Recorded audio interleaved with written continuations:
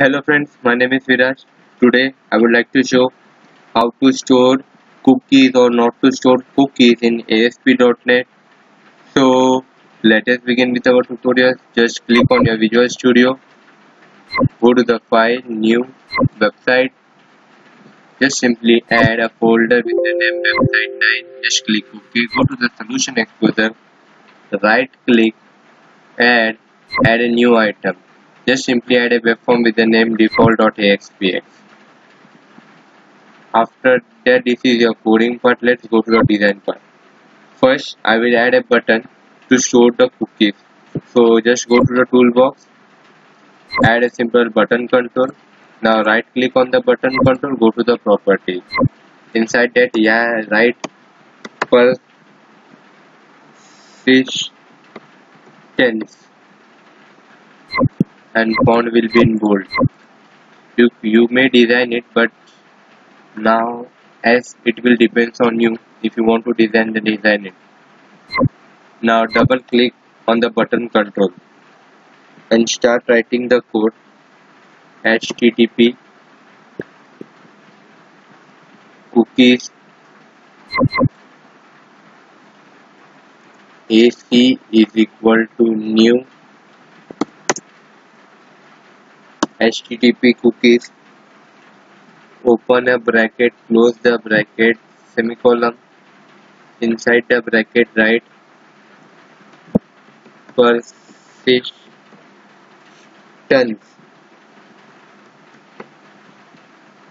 after that ac dot expires is equal to date time dot now dot add a seconds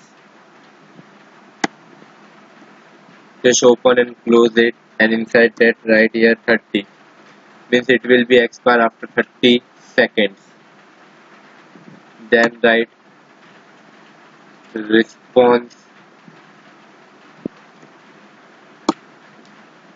dot cookies cookies dot add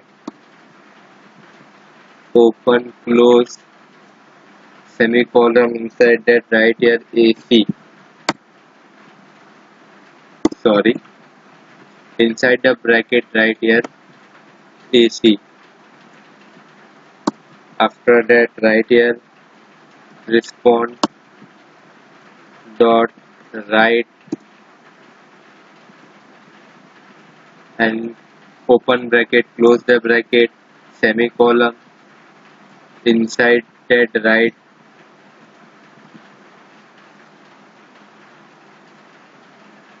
cookies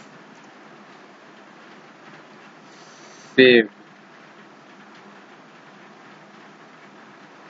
and just simply save it. Again go to your design part and add another button control. Just simply right click go to the property and write in and write inside the text that is non per fish tense and select font as in bold if you want you may select or not. Depends on you. Just double click on it. And write your code http cookies ac is equal to new http cookies. Open close it semicolon inside the bracket right? Non per fish tense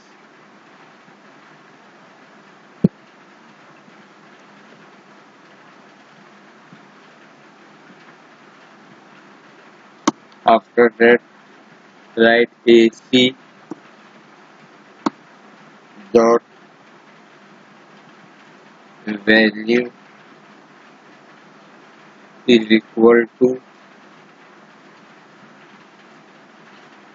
inverted commas close it with semicolon and write this is non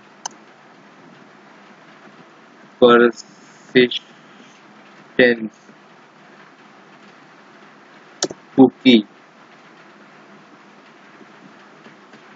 after writing that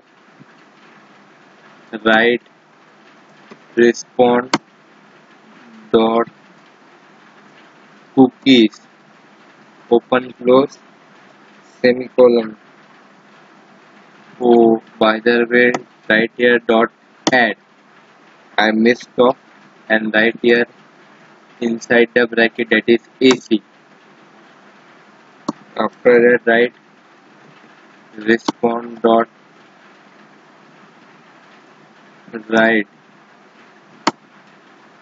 open bracket close bracket close it and inside that write cookies not saved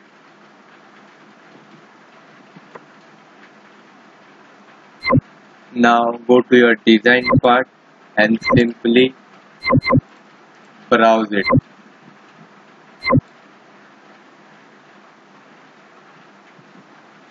So when you click on persistent cookies will save. Just simply reload it. Yeah.